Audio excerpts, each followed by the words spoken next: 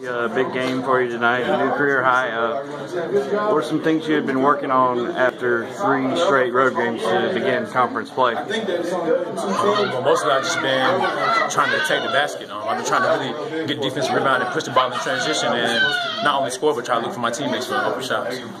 So, uh, what was working for you throughout this ball game tonight? Um, just pushing the ball in transition. You know, um, if they, I would just take them what the defense gave me. If I had a jump shot, I had it. If I had a drive, I took it. most most of this night, they just gave me a drive, so that's what I really working for tonight.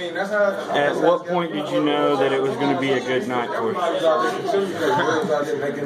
I mean, I don't know. You know, I mean, when it was going for me, when I when I got to that 23rd point mark, I felt I just felt like you know the sky's the limit. I mean, I just the basket felt big as it could be.